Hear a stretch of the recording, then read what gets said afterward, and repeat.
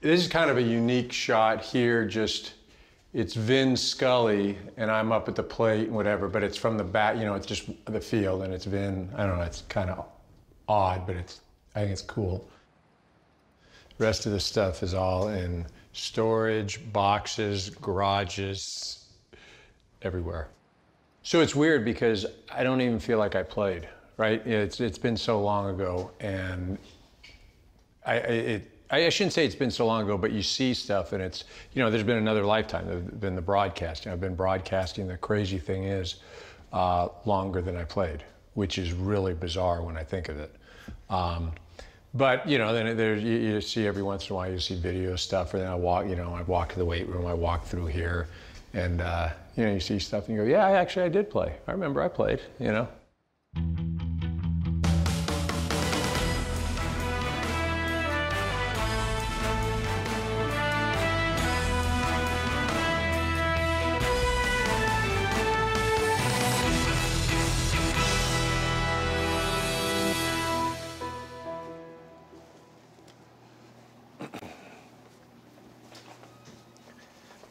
Grew up a Reds fan, but Eric Karros spent most of his adult life as a Dodger, including this season as one of the new voices in the Dodger broadcast booth. Red interior, Tommy would not have liked it. Lasorda, that is. Karros moved to Los Angeles when he walked on as an infielder at UCLA. Living in the South Bay since his early days as a Dodger, he has no trouble navigating his way to Chavez Ravine. You know, I've got it down pat. It used to be, it used to be before the 105, it used to be 405 south to the 110 north. And uh, Mike Piazza and I used to, we drive in every, every day. We were, uh, I still remember we'd listen to uh, NWA, Dr. Dre. it's date myself there. But that's, uh, yeah, we used to just blast the music and, and drive on in. We listened to a lot of NWA and a lot of uh, Death Row as well back then.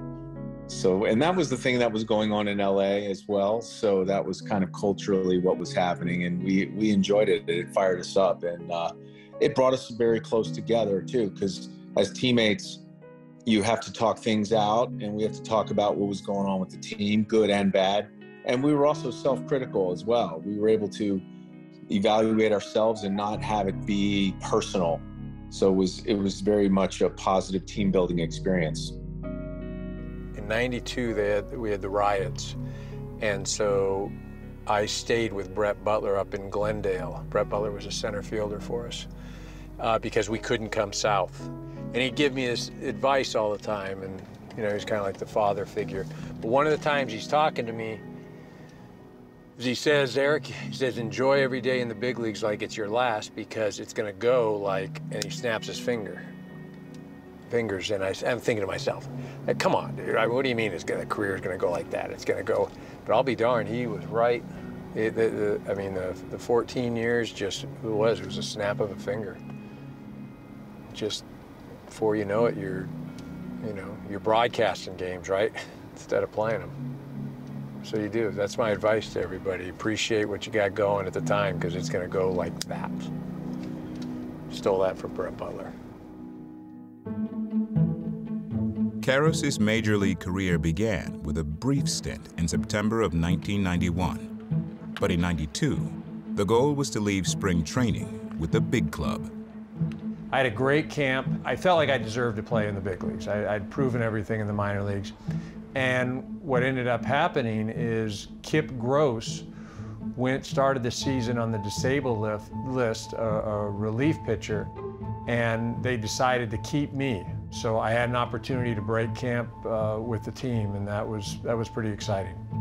He was very quiet, very shy, and even the clubhouse, he kind of kept to himself. Where you got a lot of guys out there, man, they're loud, and I was probably one of them. And, you know, we would kind of, you know, laugh and kid and joke. And he would just sit in the background and he would observe and he would watch. And it was almost as if he was gaining information. So Karros on a hit run runs down to second base and nobody there. Oh, doctor! Everybody fell asleep.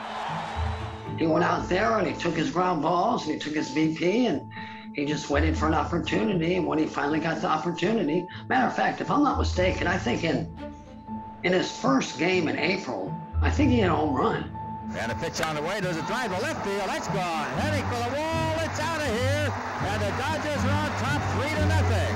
Woo! Then all of a sudden, there's this calmness about him, and it was like he just fit in. But I still think it took him probably a month or so to, to kind of feel comfortable. Most of his early playing time came as a platoon player, hitting against left-handed pitching. But in late May, Karros got the call to pinch hit in the bottom of the ninth, with his team trailing the Pirates 4 to 2. Into left field, Bonds going back, and this one is gone. The Dodgers have won it. Tommy Lasorda hasn't been smiling much in the series. He is now.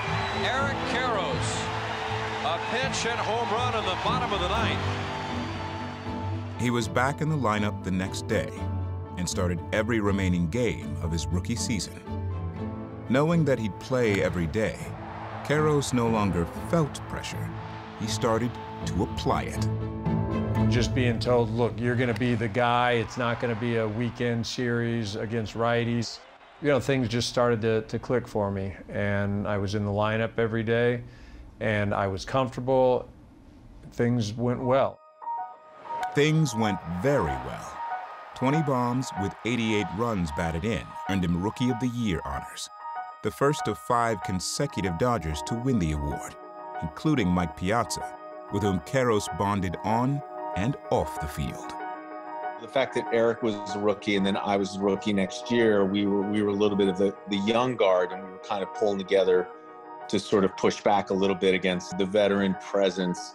It was something that I'll never forget. Living on the beach, starting to make some good money, walking down, watching the you know the Cuervo volleyball championships, grabbing a burger and getting in the car and going to play baseball at Chavez Ravine at night in the summer.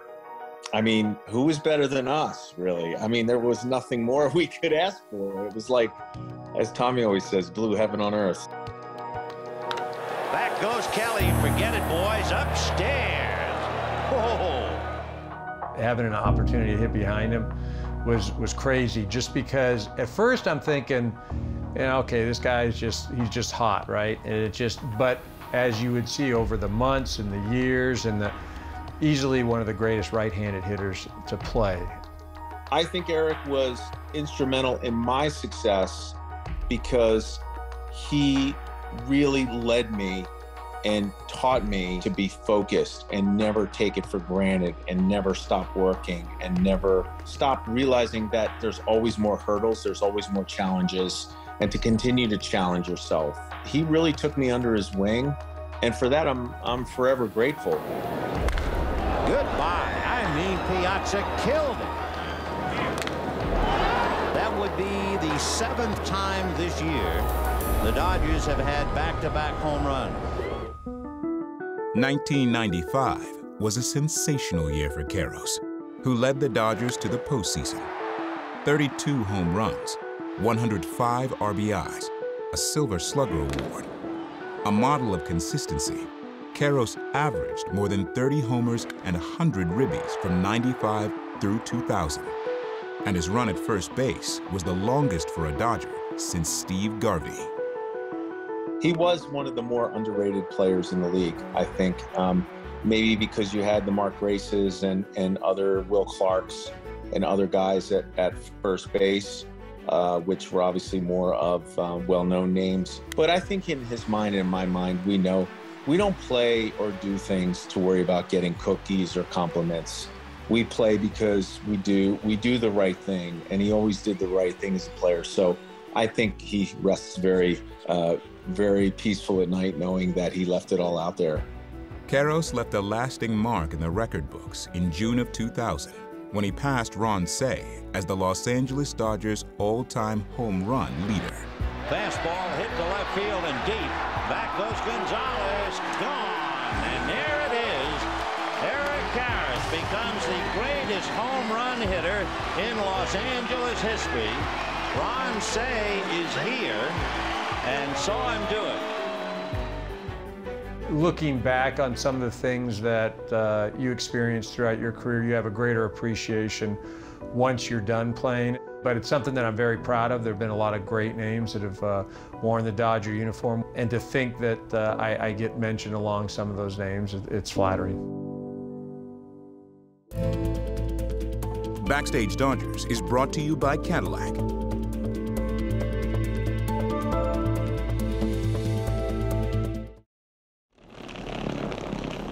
All right, here we go. Vin Scully press box, the new home. Since he retired from baseball in 2004, Eric Karros has been in broadcasting. Though this is his first year on the Dodgers broadcast team, it's interesting to note that his very first baseball broadcast occurred right here in Dodger Stadium. When I was uh, in 04, when I was done playing, I was sitting at home and the head of Fox, Ed Goren, had given me a call and said, hey, look, we need somebody to do the Dodger Giants game last weekend of the season. And so I'm thinking, you serious? I Okay, I've, I, have never done a game before in my life. You, you, have to talk about the resiliency of the Dodger Ball Club, the fact that the offense keeps battling back. I'm getting an opportunity to do the Dodgers Giants Saturday, second to last game of the season. Ironically, that's the game that Steve Finley hits the walk-off grand slam. The Dodgers end up winning the division.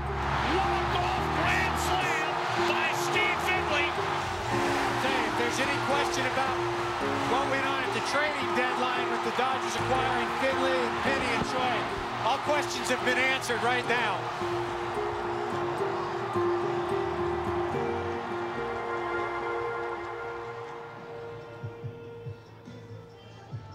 Pre-game routine is coming, filling out the lineup cards, reading up. Usually go down to the field, talk to the guys, um, see if anything's going on specifically for, for the night's game. Um, you know, that's really just about it, you know. Talk to uh, that guy up there, Joe, he just walked in. He looks excited, fired up. Yeah, when we knew that there might be an opening for some people to get some games, he was the first guy that came to mind for me. So I, I called our bosses and said, let's talk to Eric and uh, find a way to make this work. And it's been as great as I figured it would. He's such a pro. He's got a big time sound. He, he studies and he obviously knows the team well. And he's somebody that has built in credibility because of what he did as a player here.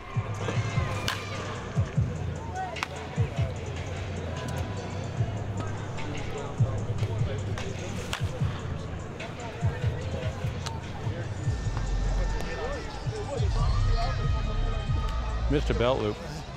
No, you didn't. You saw a little utter panic there, though, huh? I forgot belts before.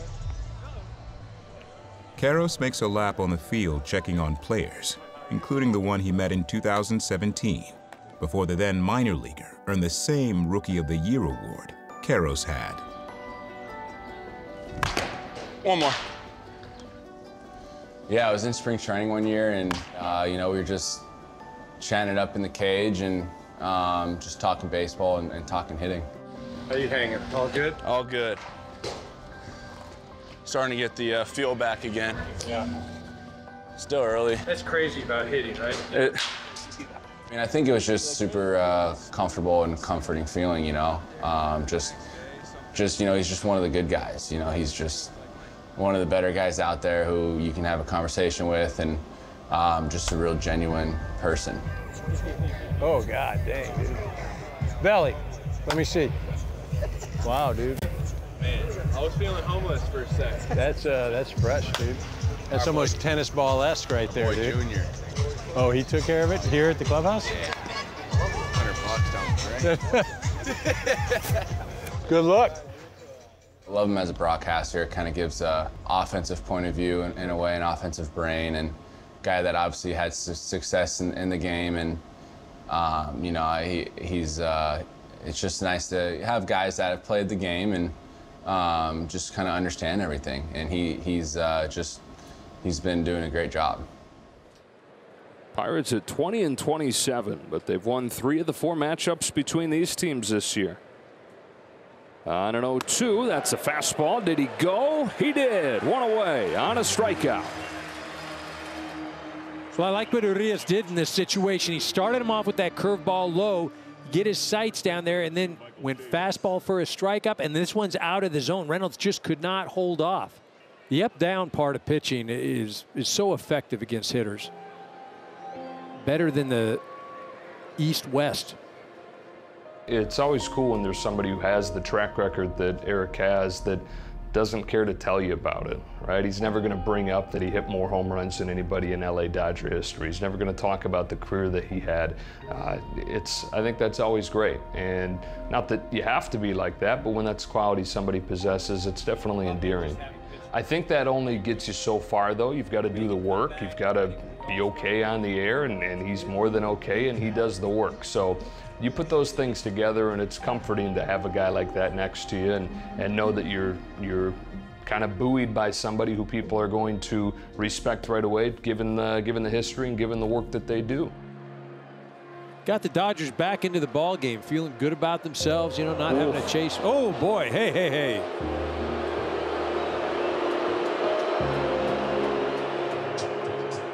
You know, that's one of the greatest things when you're talking about hitting, the most difficult thing to do for 99% of the people, standing in there and overcoming the fear. Jeez, I, yeah. That's it right there. Overcoming the fear.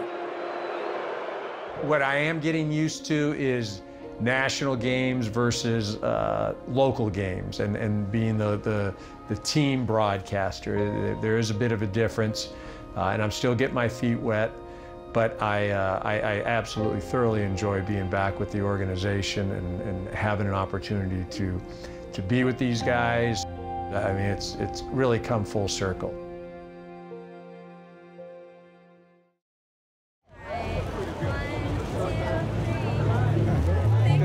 After being swept by the Pirates, it is time to turn the page because the National League's top team and hottest team has arrived here at the Ravine. It's the Dodgers and New York Mets kicking off a four-game series. What cliche should we use for this series? Measuring stick, litmus test? I just want to play a clean baseball game. Um, it's a good ball club. We're in the midst of losing three straight baseball games, so the narrative is we're just trying to get back on track and win a ball game. Justin Turner. He spent four seasons with the Mets before coming to the Dodgers. Of course, he's in the lineup tonight at his JT jersey giveaway day, complete with the pine tar stain. Stop us if you've heard this one before. No? Don't. You've heard it. A lot. But does a great story ever get old? See, Justin Turner was a Met. Then, they cut him loose. The Dodgers signed him to a minor league deal. Then he made the roster. Juan Uribe got hurt and Turner was in the lineup. More and more. And in time, Turner became a Met regret and a Dodger star. And Turner in the air to center field. That ball's hit well. Martinez on the run. This is way back, and it is gone. It is a walk-off home run for Justin Turner.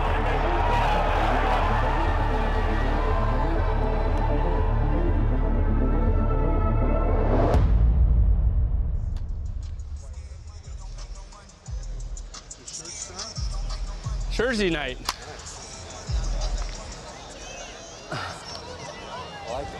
Go Titans. Are they good? Yeah, they got the pine tar stain and everything on them. Like there they are. They're putting them on. Yeah. Look at the back.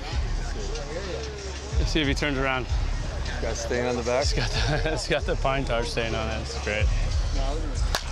Is that, they, they clean that every night and it comes back every night? Yeah. How much time does it take? They just have this spray they put on it and it comes right out. Oh, they spray wash they don't have to do anything? Just spray Well, they spray it and then they throw it in. What's up, Nomar?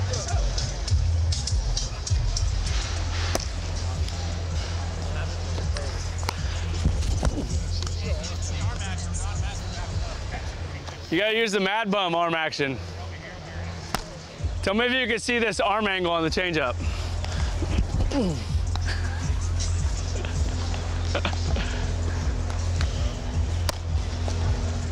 One more. Woo! Snapdragon. I ever tell you about it was like my second year with the Mets. Me and I, day game, one o'clock game.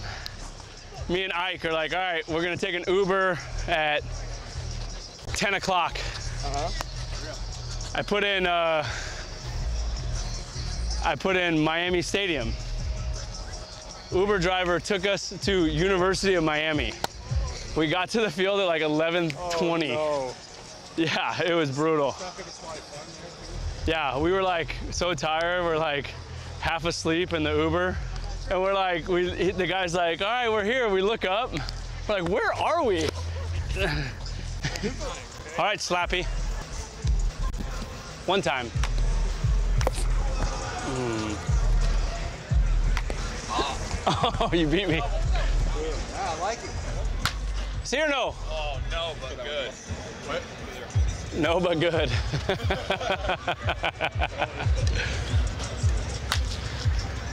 Oh. no, but good. Oh, no, but good. No, but bad. Controls are still like in the ground. Bad.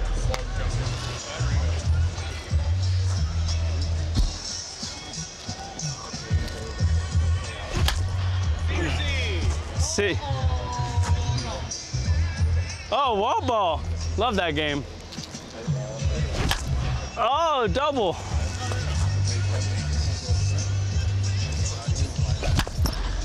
Oh my good God Almighty. C, but C.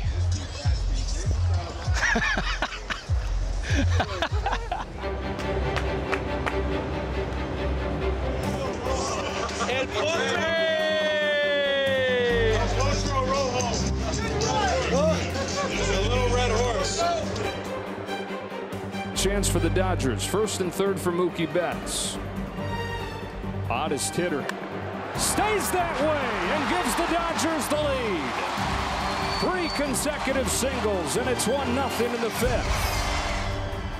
The Dodgers scored first, and in the bottom of the sixth, the Met killer, the man of the night, does it to his old team again. To deep right center. Marte to the track. Can't get it. 2 nothing. Turner drives home Turner.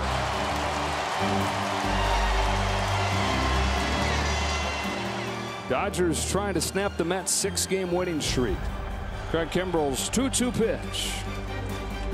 He struck him out. 97 blown by Alonso. And the Dodgers take the first game between these two National League powerhouses. 2 0 the final score.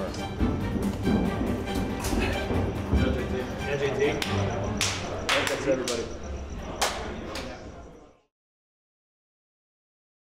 On the next Backstage Dodgers, a decorated two sport athlete chases his major league dream. And he drives one up the middle, a base hit.